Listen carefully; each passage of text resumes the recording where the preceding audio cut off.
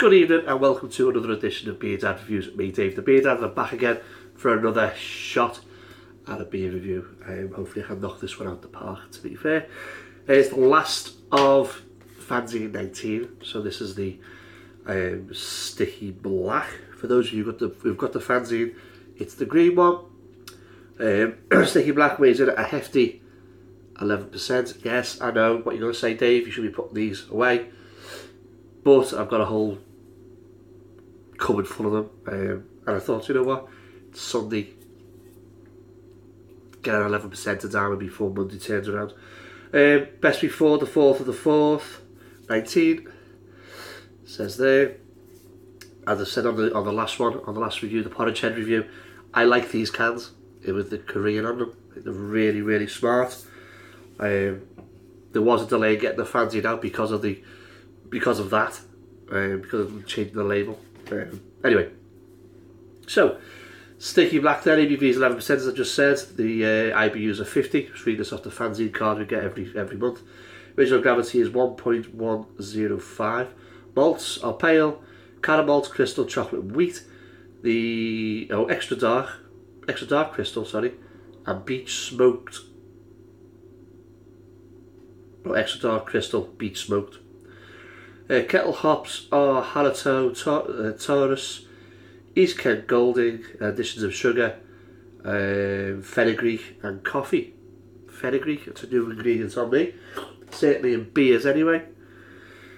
Okay, so see what it's all about. 11% beer.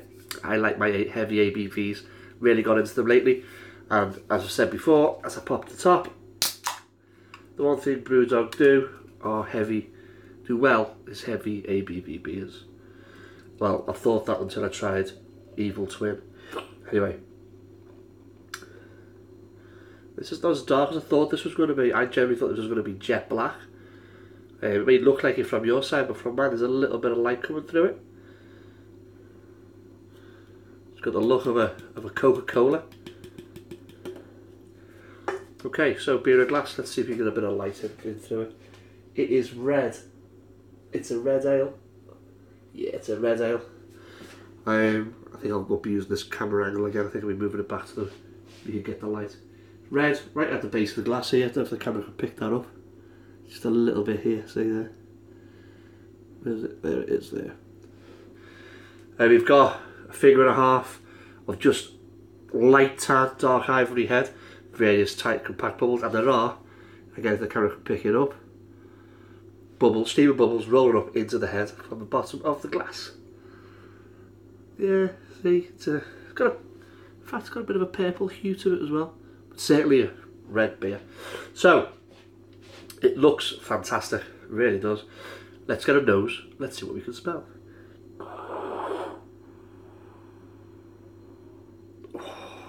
Oh, that smells good. Burnt sugar, touch of licorice,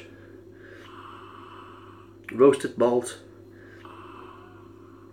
tinge of coffee, a bit of tobacco, a bit of smokiness. It smells great. Oh, let's get a taste. Of cheers.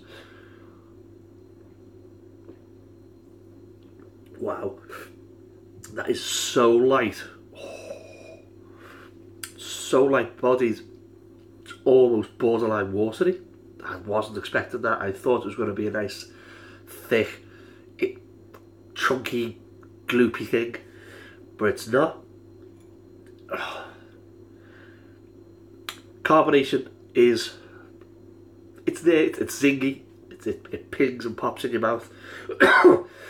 it's not overly, overly carbonated. Um, I don't know if we're going to put a category to it, light to medium carb. This is the colour, actually, going back to the colour, this is the colour of a very strong tea. Coca-Cola, Daddy Daddy Burdock, that type of colour. Taste-wise though, it is absolutely sensational. You've got caramel, coffee, burnt sugar, treacle, molasses, that type of caper going on. There is a touch of licorice. There's a little bit of the alcohol popping through, just to remind you, This is a, this is a, a big boys drink. It's an eleven percenter. wow, this is good. This is very good. It's almost like the alcohol. It's like that. Um, it's, it's fantastic. This is absolutely tremendous. I think it was a little bit heavier in the mouthfeel. It would be possibly world class. This is absolutely beautiful. There's a lot going on. It's complex. It's really well balanced. It's fucking delicious. Although you're getting a little bit of alcohol there here, it's just a, a winter warming sensation. Okay. Um, that, that little touch of alcohol, if, it, if that was a little bit more well hidden, this is not a criticism. It was a little bit, if it was more hidden or you couldn't taste it, this would be sessionable at 11%. It'd be dangerously sessionable. Wow. It does have a hint of a dandelion and burdock about it as well.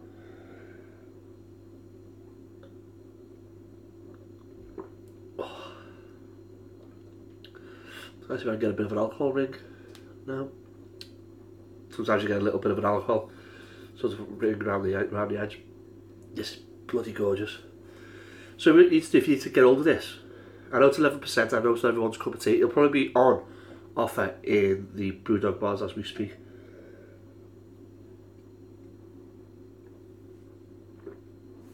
Fantastic that's up there with some of the best the best high ABV stuff that Brewdog do. It really, really is for me.